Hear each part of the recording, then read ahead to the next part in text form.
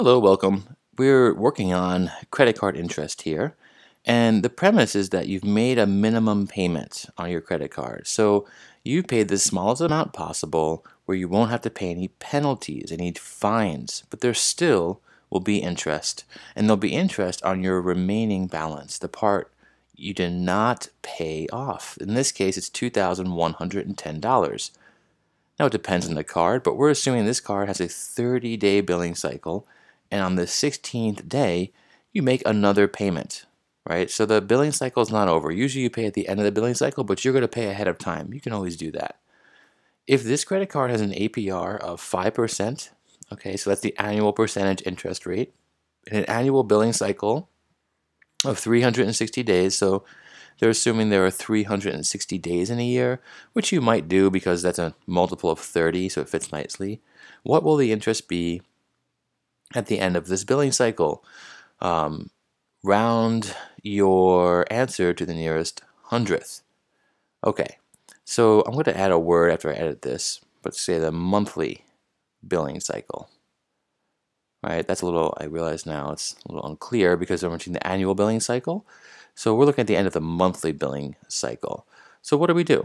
Well, we start off with 2,110.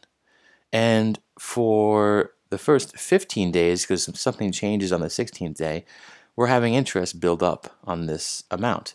So we're going to basically take that and multiply it by the interest. What's the interest? It's 5% divided by 360. That's why I named this number over here. So 5%, take 5% divided by 100, that's 0.05, divided by 360, and that's the little bit of interest you'll be getting each day on this amount. And that'll happen for how many days? Well, there are 30 days in the billing cycle, and you don't do anything until the 16th day. So for 15 days, this is what's going to be um, building up in terms of interest. Then something changes. In the second half of the billing cycle, you make a payment. So you take the $2,110 and subtract 1,055, and whatever that amount is, that leftover amount, you do the same thing. You multiply it by the interest, which is building a broken up daily, times 15.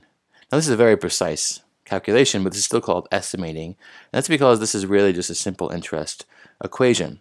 We'll look more at the exact nature of credit card interest and compound interest soon, but right here, you should just know that the simple interest and compound interest over the course of a month are really, really close, right? Over the course of a month.